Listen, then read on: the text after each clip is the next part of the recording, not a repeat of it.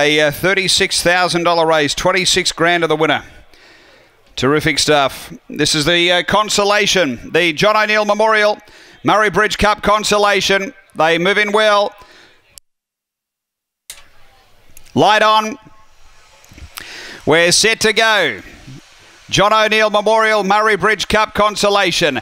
Away. Patchy sort of start. Speed in the middle. Diesel Runner's going to drive and lead. Diesel Runner led over to second. Bernardo Bowl. Then came Okeechobee Road from Dark Compass. Uh, next, Victor Kurt from Victor Tony. Then came Razzle Darrell and fired up Finn. Up front, we've got Diesel Runner, the leader. Okeechobee Road trying to switch around. Goes back to the inside. And then Victor Kurt running on.